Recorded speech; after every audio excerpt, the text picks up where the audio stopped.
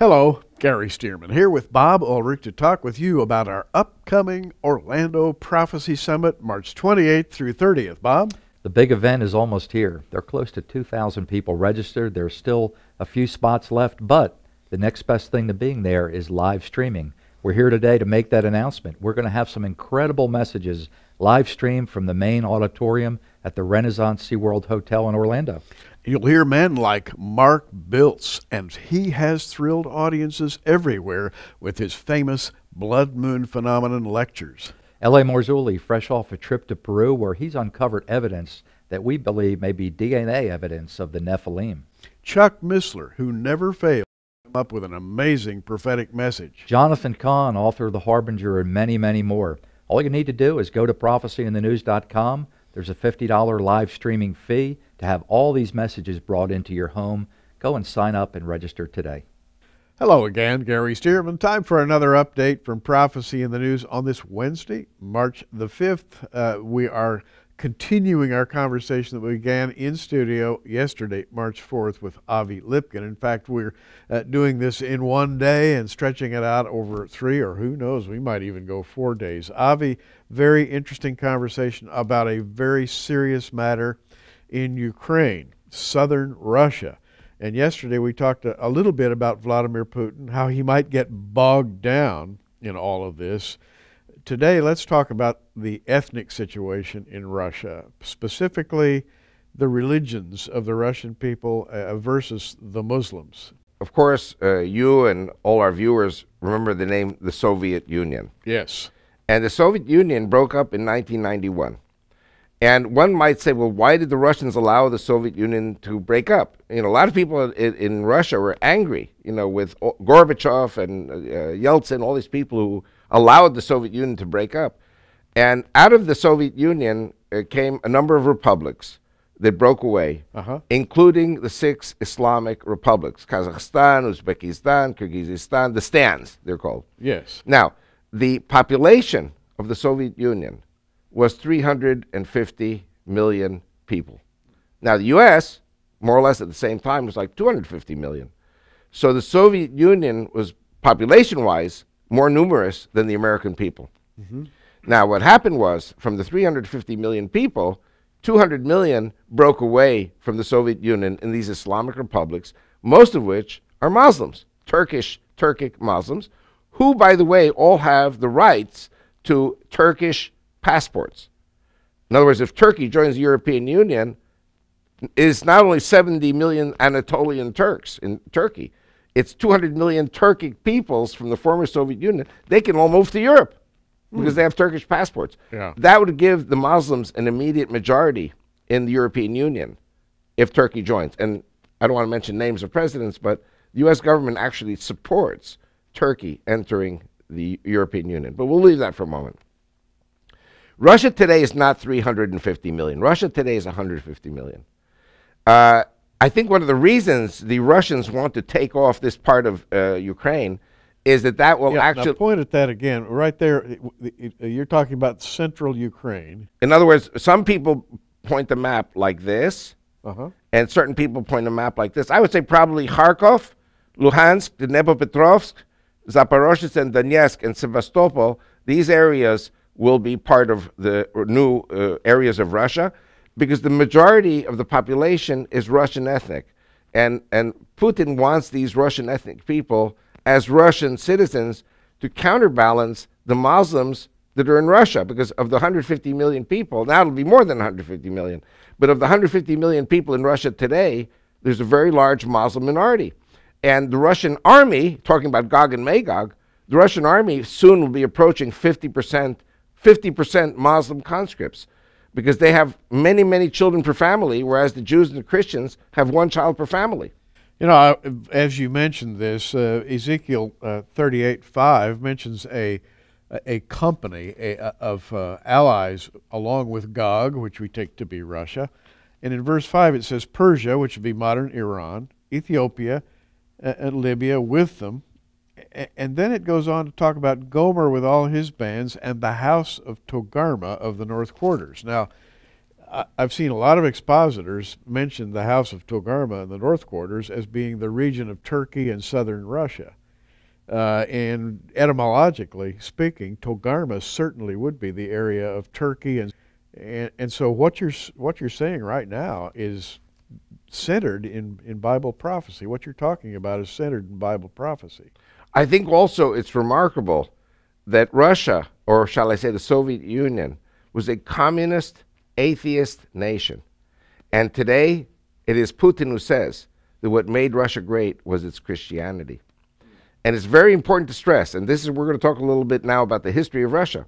The Russians were up here in Moscow, and the Poles were here, the White Russians were here. These are all, again, different tribes. And the Tatars who were here, the Tatars, all this was Turkish Empire. And the Muslims were coming up and raiding. They were raiding Moscow, they were raiding Warsaw, they were raiding Kiev. These Tatars would come, and one of the big things in those days was taking slaves. And they'd take Slavic girls as slaves, kill the men.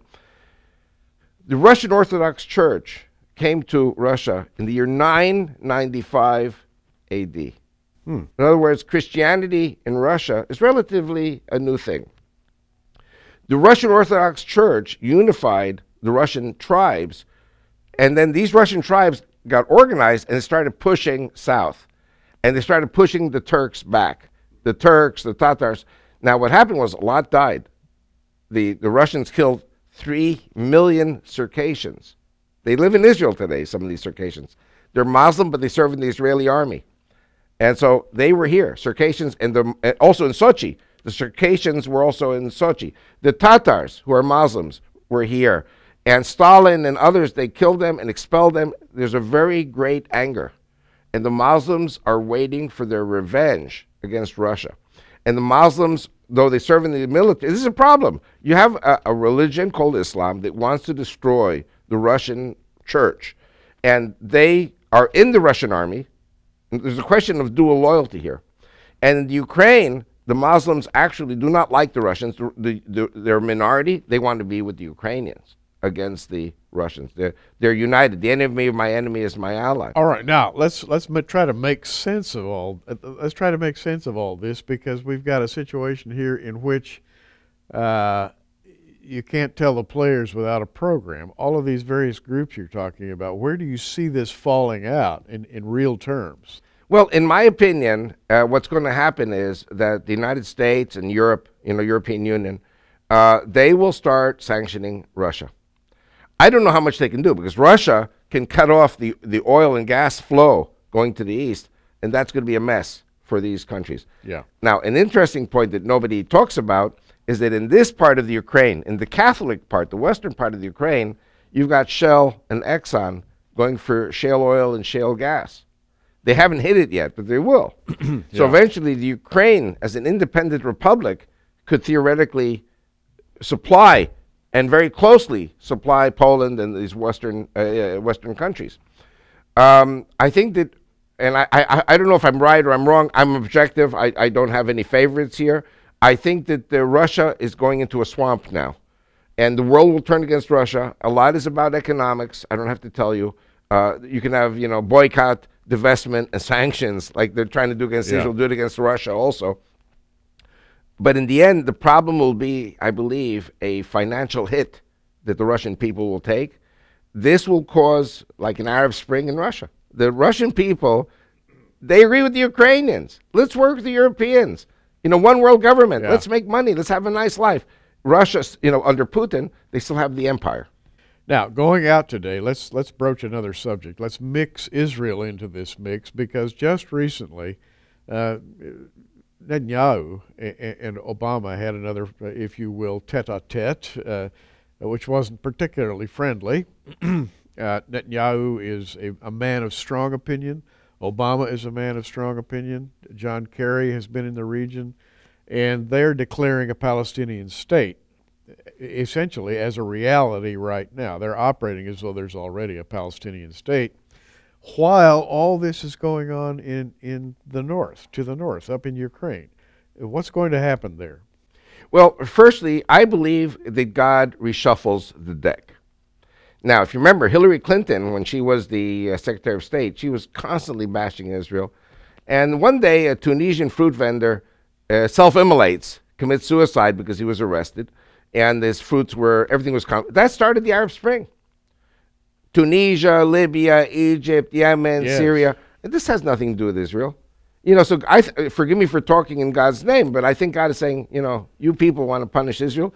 Israel is the apple of God's eye if we believe in God and we believe in the Bible. Zechariah 2, verse 12 says that Israel is the apple of God's eye. And anyone who touches Israel touches the apple of God's eye. So all of this Arab Spring, which has nothing to do with Jews or Christians except the killing of Christians in the Middle East, all of a sudden comes and reshuffles the deck with the uh, Western powers. Now, if, if President, I don't want to say the names, if you have a, a U.S. State Department policy, which has been the same State Department policy for the last 40, 50 years, if they want to come against Israel, then God is going to send the Russians and the Ukrainians and have upheavals in other parts of the world. China, the, Muslim terrorists killed 27 Chinese in a stabbing incident at Kunming train station and wounded another 160 people. Was Muslim terrorists from East Turkestan or Xinjiang, Xinjiang province. Well, here in Ezekiel 38, God says, I'm against you, Gog.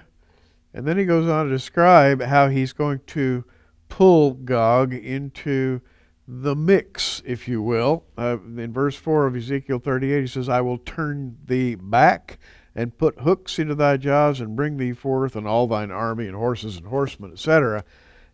God here speaks of Gog, this northern confederation of powers, as as a huge beast, and and he says, "I'm going to pull you into the fray. I'm going to turn you around," and it's very clear uh, in the in the text what's being said here. Uh, you think Israel, uh, or uh, not Israel? Do you think that Russia is being pulled into position now by all that's going on in Ukraine?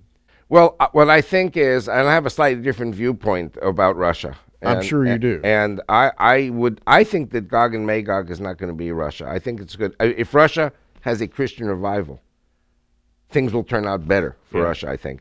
But if, if, like I said before, if 50% of the conscripts of the Russian army are Muslim, or they will be very soon, Russia has a demographic problem that it has to contend with.